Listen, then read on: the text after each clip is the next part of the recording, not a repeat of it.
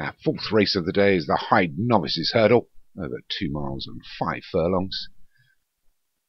So, number one, Barrel Blaster for Leon Van Rensburg. Two, So Trouble for Alex Cherry, winner last time out. Chan Point for Darren Thompson, uh, won his last two, looking for a third.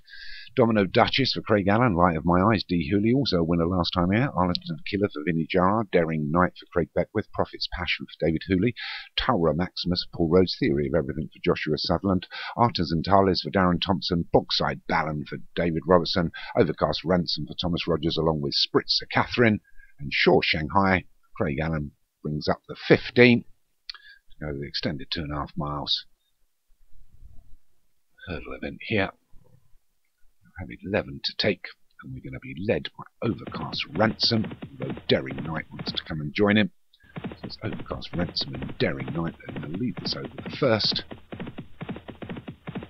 Both take it well, as does the remainder of the pack, although the grey towards the rear out wide. Hemsley's Domino Duchess was a little bit slow over it. So it's Daring Knight picks up the lead on his own by about a length and a half from Overcast Ransom, right in front of him there, Craig Beckwith horse.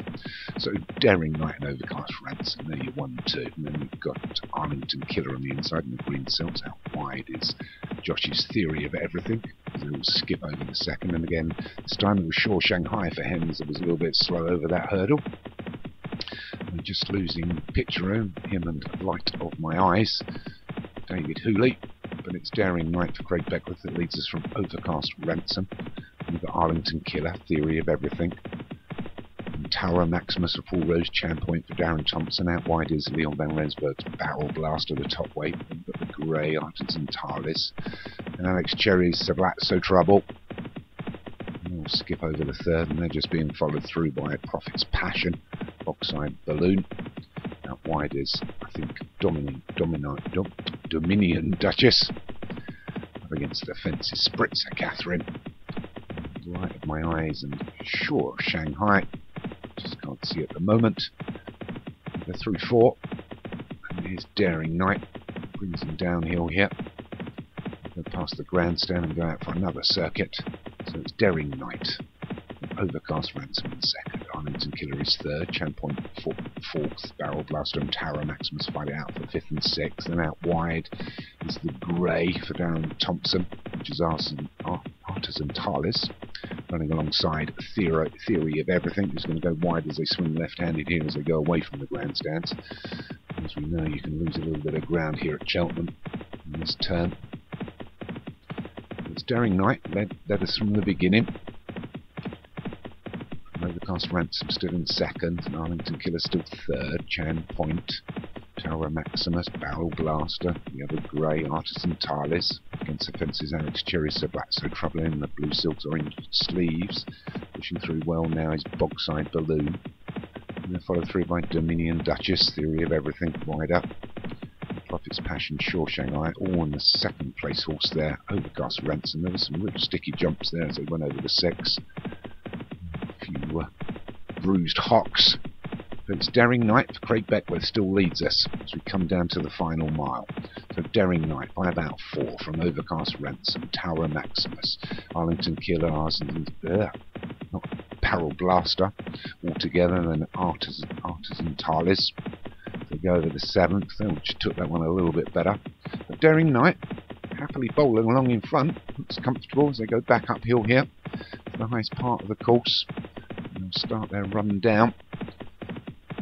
So with three left to take, it's Daring Knight from Overcast Ransom, Tower Maximus, Arlington Killer and Barrel Blast all together. Chan Point won his last two races looking to get a three-timer quite unusual in starters orders, so good luck to that one. But it's Daring Knight, still by a couple of lengths now from Overcast Ransom, Tower Maximus. Here comes Chan Point from the wide outside, using a bit of a whip now is Arlington Killer to get in better position, running on well with Sablazo Trouble out of the pack. One that hasn't done a lot now is, is Barrel Blaster for Neil Van Rensburg, whips out now and gives the horse a couple of reminders. But Daring Knight not asked for anything yet, he's going to get challenged inside this final half mile. It's Daring Knight from Chand Point, Tower, Maximus, Barrel Blaster against the fences. Arlington Killer moving really well on the outside now. I think he's light of my eyes, but it could be Prophet's Passion. I think he's light of my eyes, but it's still Daring Knight. Chand Point come alongside to try and challenge, but it's still Daring Knight leads by half a length from Chand Point. Light of my eyes on the outside. Prophet's Passion still trying to run on a good jump there by Daring Knight. Out of the pack comes Balloon, so it's Daring Knight. Bogside Balloon running on well now is Prophet's Passion and Light of my eyes out wide, but it's Bogside Balloon that takes it up.